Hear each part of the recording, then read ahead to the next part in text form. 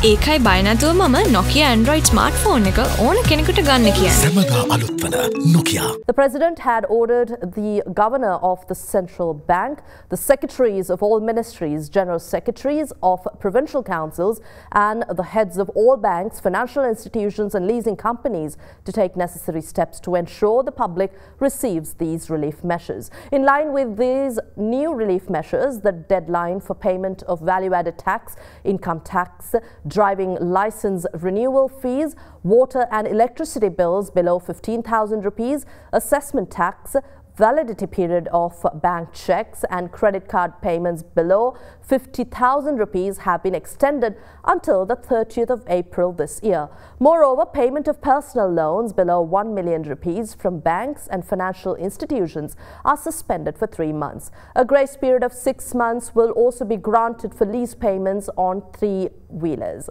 Furthermore, the allowance of 20,000 rupees for the month of March for those selected under the undergraduates employment scheme is also deposited to their banks.